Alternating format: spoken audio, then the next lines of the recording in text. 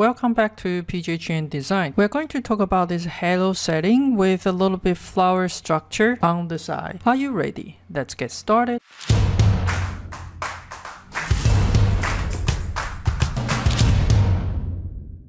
We're going to start a front view for whatever ring size you wanted. In this case, I'm going to use 16 millimeter diameter. And we are going to bring in a stone. And if you want to know how to make this stone, I have a video for it. Or there's a stone setting class. The link is on the right top corner for you to check it out. Okay, so we want to bring in the stone and kind of lower down the stone to whatever the, the stone that you want them to be. Ideally, the collet you want to make sure it's to the ring shank that you have at least 0.5 to 1 millimeter distance over there. So let's go ahead to make a setting for it. We wanted to draw a straight line, come over here and roughly over the table height and then you want to bring in something like that. Taper a little bit. This is going to be the prong. We can can change the location or placement later on, but we wanted to make it into the prong first. So I wanted to make somewhere close to 1 or 1.2 millimeter um, thick enough for the printing. And then you want to make sure that your prong is not cutting more than 25% uh, to make sure that it will maintain a good thickness after casting and stone setting. So something like that will be great. Now I have this one. It's going to be polar array into four prongs so we are going so we are going to come into here and we have array we have polars the center will be zero and we need four pieces there for 360 degree. So after that, we need to have something to hold the prong in place. So let's go ahead to make a bezel underneath it. Something is going to be longer. Again, you want to tilt it with the same angle of your prong and we want to move in a little bit. I also want to make sure that I have the stone already cutting the seat a little bit. Uh, so I'm going to draw a straight line, follow the stone size, moving just a little bit. Using that line and this line, let's go ahead to trim each other. We're gonna get rid of here, here, and here. Then we just make sure we need to join them there. Okay, so once we have that, we are going to use this one, and that's using the um, revolve, snapping into the zero one more time, 360 degree, and we'll get something like this. So then this cup will actually hold in this one. Before we actually Boolean it, I'm just simply just gonna group them, just in case we need to change it later. Okay, so that is the center stone. The second thing we wanted to do is we kind of need to draw the halo area and so coming into the top view, I'm going to draw a rectangle. In this rectangle, I'm gonna starting from the center, type it zero, and something look like this. And then I simply just to um, rotate it 45 degree there. And then you can decide if this is too big or too small and you want a bigger or smaller or things like that. I think I want to talking a little bit more something like this. So this is our reference. I'm going to, using the curve and draw something coming in a little bit and then coming out like this, coming in like this and snapping somewhere in the middle. So then I have this a little bit curved uh, petal over there. Let me go ahead to mirror that curve to the other side. So then I have this petal looking things here using the polar array and we want to snapping into the zero that's repeating four times and see if that is the good good size that you like. If you do like it then just go ahead to join all of them. Now it is more like aesthetic approach if you want it to be really pointed like this. I personally don't like too pointed so I'm gonna give it a fillet. Let's try fillet corners and I want to fit it to be 0.4 millimeter of this curve. So they will have something like this is a little bit smoother the curve that I have. Depends on what size of a stone you're going to set. In this case, I'm going to offset it to be 1.3 millimeter. Then I will have another curve right here. And again, I do not like the pointed there, so we are going to use the fillet corners and with the, the same um, radius for 0.4 millimeters. So then I will get something like that.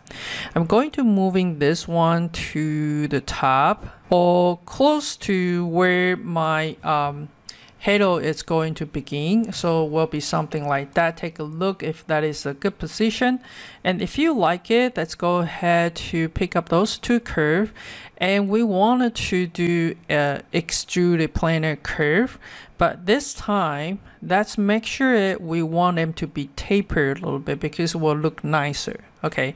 You can taper in any degree you want. So far we have it opposite. So I'm gonna coming into the draft angle here. That's in minus 15 and I want to move my mouse down and see if that is something that I like and maybe if the 15 is too much, let's try something smaller, minus 5. We just need a little bit taper, but we want to make sure that it is uh, past it can be past the ring shank that we are working on.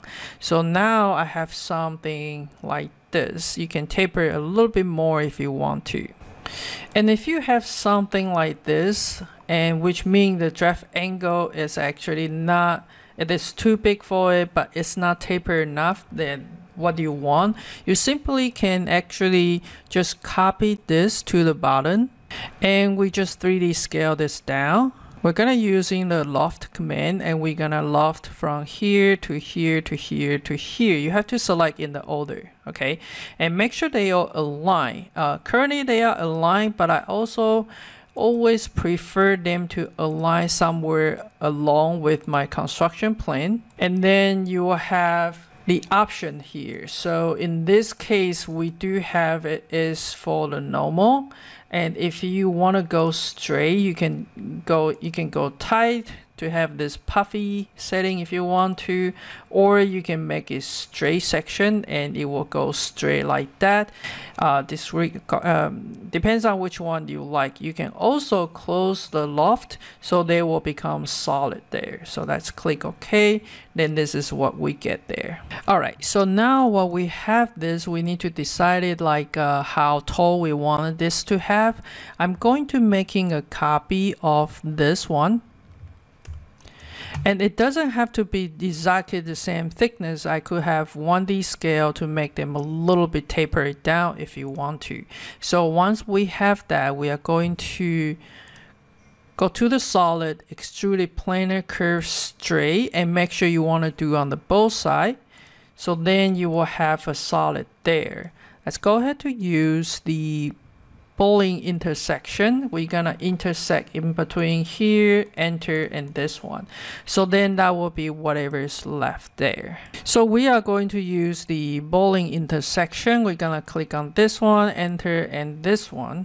So this is what we have left there, and that is for the position for our halo Okay, so to set the stone, I need to find where is the center for me to setting the stone. Let's go ahead to pick up those curve and let's go ahead to hide it.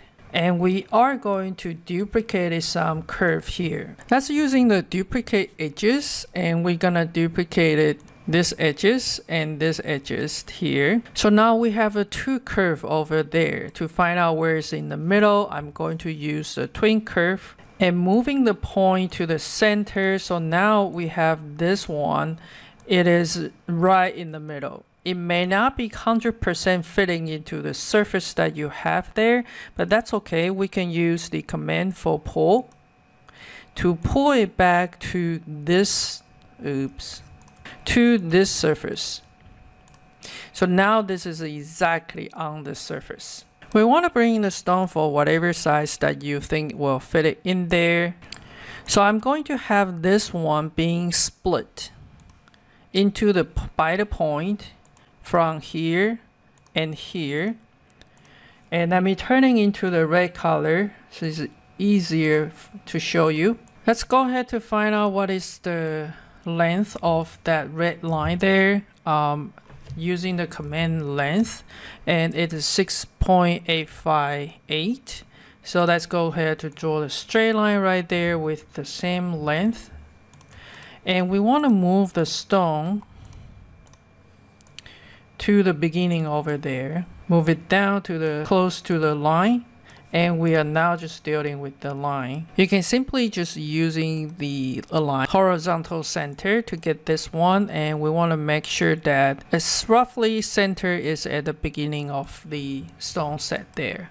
Okay, and then the second thing we wanted to do is draw the straight line for the prong and pipe it to making into the thickness if you have a shared prong, your prong need to be bigger, and if it is individual prong that's not shared, they can be smaller. I'm going to move this prong roughly right there, but visually I might need to make them just slightly bigger. All right, let's give it a try. We are going to array along the curve, and we are going to have this curve and for six of them. And then we're gonna move this prong here to make sure that they cut it equally on the both side coming a little bit and we wanted to mirror to the other side. So that's using the array along the curve again. And we want to pick up this uh, ba uh, base curve and we want to do six of them as well. This one we can simply just mirror to the other side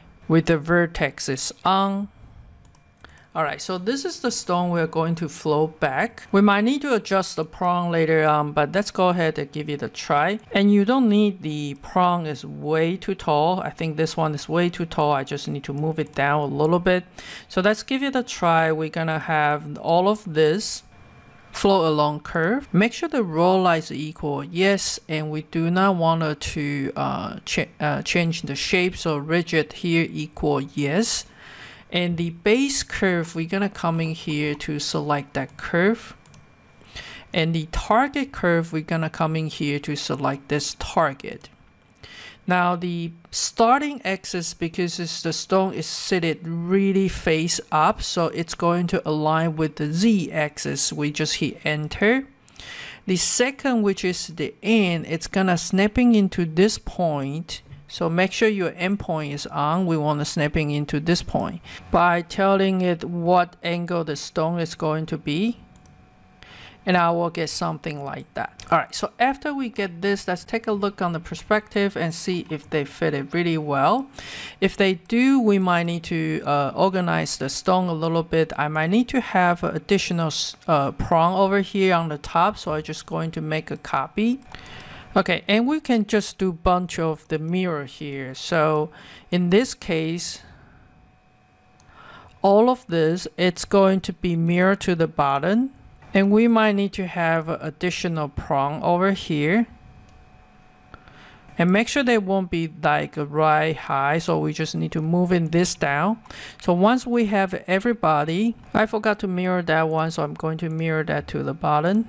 Okay, so now we have to mirror everybody beside the center one because we don't want to repeat it and have that mirror to the other side. So now we have things like that. You need to do some adjustment on the prong in certain position. For example, this was straight down. We will need to have it tilted a little bit and cut in a little bit or something like that. Okay, so you can do some adjustment your own and then after that we just need to make a ring shank.